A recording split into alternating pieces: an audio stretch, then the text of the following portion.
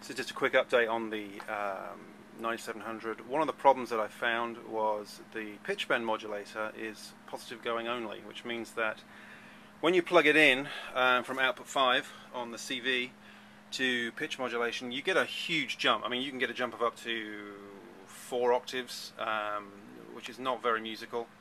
Uh, what I did was I built a simple summing amplifier that takes a minus 5 voltage signal uh, adds it to the uh, pitch bend signal.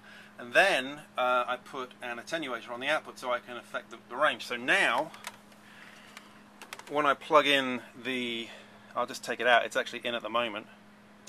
There's no change in pitch and the pitch bend, crank it up,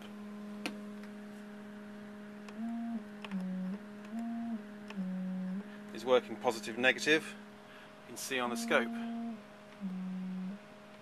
a little bit of noise there but the oscillator seems to be dealing with it.